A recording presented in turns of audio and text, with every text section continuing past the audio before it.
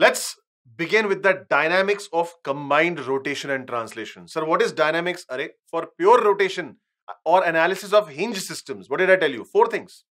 Torque about hinge equal to I about hinge into alpha. F external equal to MACM, where it will divide into two parts, A radial, A tangential.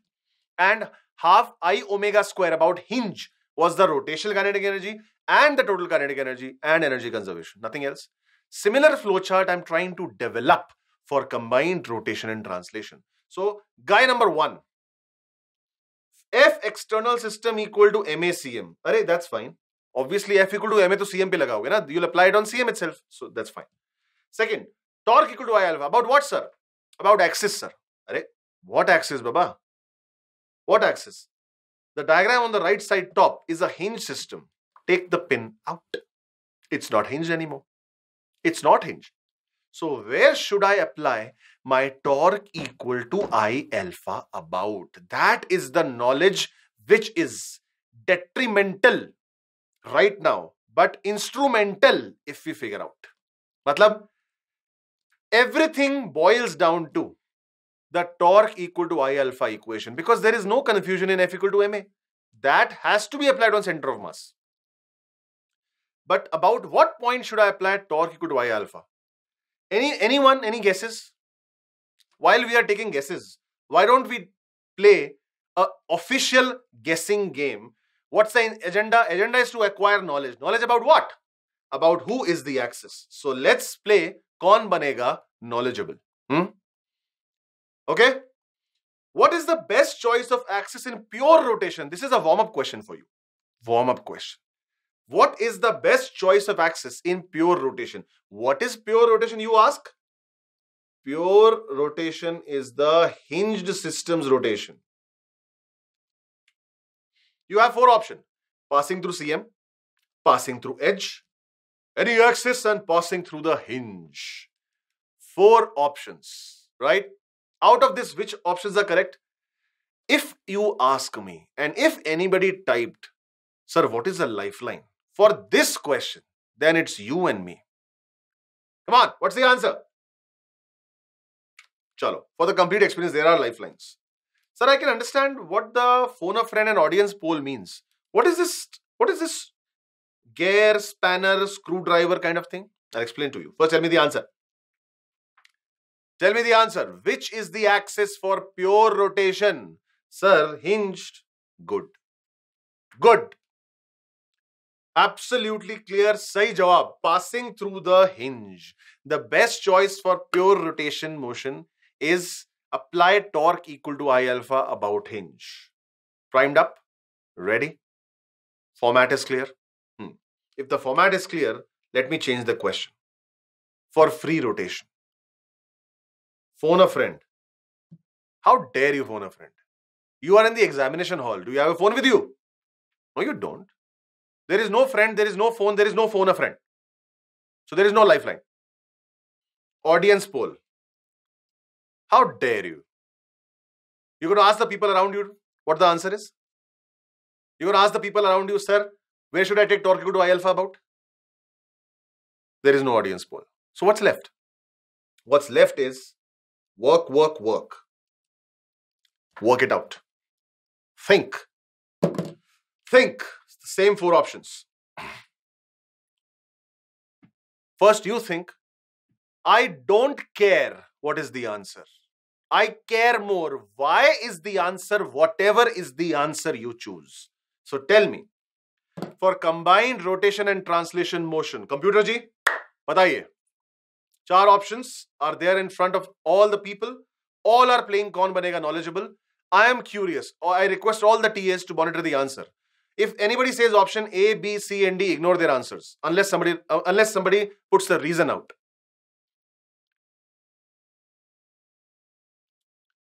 Any axis will do. Passing through edge, no choice. No choice. And passing through center of mass. Which is the best? Which is the best option to apply torque equal to I alpha for combined rotation and translation and why? Seems like there is only one lifeline. Work. Who's going to work? This guy. Are you ready? Okay. If anybody has figured it out, good for you. But right now, please focus. Computer, give me a workspace to solve, please. All right, here is a workspace to solve. what happens is, let's say somebody applies an external force F. Or multiple forces are acting. F is act F1, F2, F3, blah, blah, blah. All right. So what is going to happen? What's going to happen is there will be an acceleration A and there will be an angular acceleration alpha. Do you agree? Center of mass will have an acceleration A and there will be an angular acceleration alpha if the body is free to move. Do you agree with this thing or not? Yeah. If there is a force acting, there will be an acceleration. Yes. What are accelerating frames of reference? Mm, non-inertial frame of reference. Bang on. That means if I take any point on my reference, any point of my reference, that point is non-inertial point, non-inertial frame, non-inertial reference. So, sir, uh, what about center of mass? Array, even center of mass has an acceleration. So, guess what, guys? Point number one. Every point on the body is accelerating. Agreed? Hmm, agreed. Every point of the body is accelerating. There might be a point somewhere hypothetically which might not be accelerating, but I don't know it. If you give me a random shaped body, is every point accelerating or not? Yes, sir. Does that include center of mass also? Yes, sir. So there is nothing special about center of mass up till now? Yes, sir. I'll repeat. All points are accelerating, including center of mass. Yes, sir. All points present themselves as non-inertial reference up till now. Yes, sir. Agreed? Point number two. What do you do if you have a non-inertial reference? So we apply a pseudo force. Good. Where do you apply pseudo force? So pseudo force on the body. But gone are those days. That time particle used to be the body. Now it's a rigid body. Where will you apply pseudo force? On the center of mass.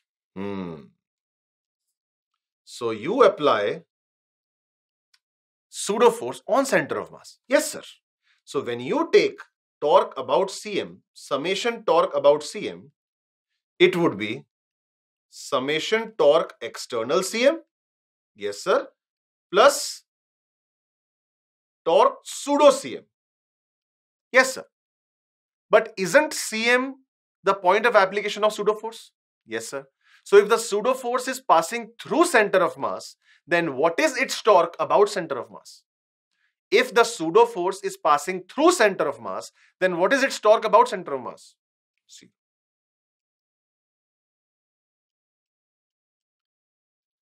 Ah, this is nice. So you mean to say, let me get this straight, sir. So you are saying, point number one, everything including center of mass is accelerating, correct?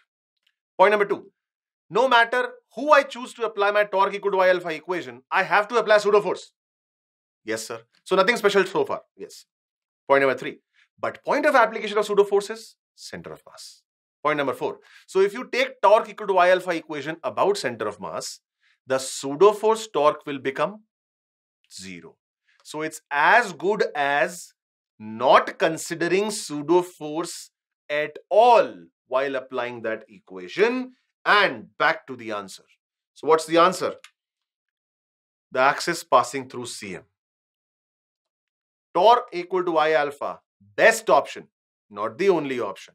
Best option is center of mass. How many of you thought about this? If you could think about it in this detail, kudos, hats off, high five. Let me bring the boys home.